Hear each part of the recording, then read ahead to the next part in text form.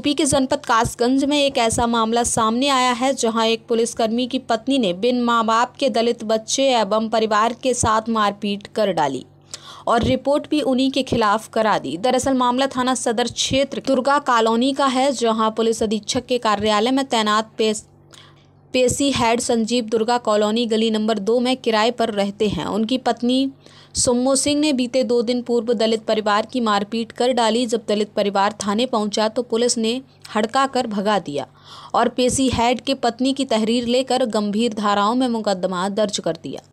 और यहाँ तक कि पीड़ित परिवार के खिलाफ ही नहीं, बल्कि बचाने वालों के खिलाफ भी मुकदमा लिखा दिया गया। पेशी हेड संजीव की पत्नी पूर्व में भी चर्चित रही हैं। उन्होंने निरीक्षक इंदु वर्मा के साथ भी अभद्रता की थी।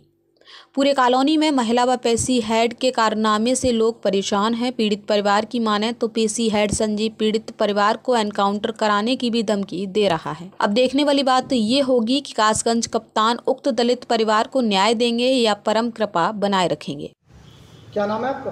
ज्योति दिवाकर। ज्योति आपके परिवार के साथ घटना हुई है क्या घटना हमारे परिवार के साथ एक पुलिस वाले की वाइफ है, जो कि उसने हमारे घर में आके मारपीट की है और उसका जो हस्बैंड है, वो कप्तान साहब के पास रहता है और उसने हमारे घर पे आके बहुत ज़्यादा मारपीट की है और कोतवाली हमारी कोई सुनवाई नहीं है और हमारी जाति के साथ बहुत ज़्यादा गाली वाली दी है और हमारी कोई सुनवाई नहीं है और हम घर पे जाते हैं, घर पे से घर से बेघर कर दिया और जो भी हमारा साथ दे रहा है, उसमें भी उसने मतलब उनको भी खिलाफ मुकदमा कर दिया उसने।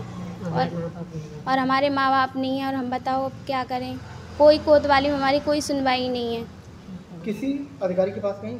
अधिकारी के पास गए कोई सुनवाई नहीं है हमारी कहीं पे क्योंकि उसका हस्बैंड वो एसपी के पास बैठता है इसीलिए कोई सुनवाई नहीं हो रही हमारी।